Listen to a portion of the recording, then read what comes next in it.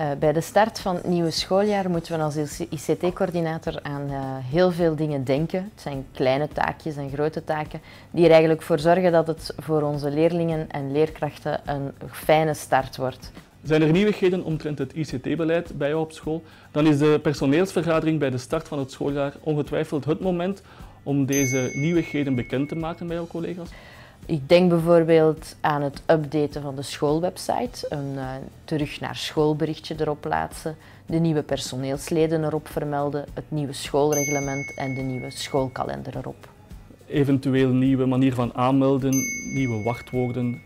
Bij ons op school werken we met uh, uitleenbare toestellen. Ik denk daarbij aan tablets en aan Chromebooks.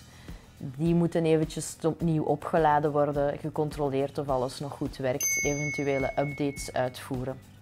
Uh, probeer jouw collega's een duidelijke uitleg te geven aan de hand van een presentatie, maar overdonder hen ook niet te veel met technische info, want het begin van het schooljaar is namelijk al druk genoeg.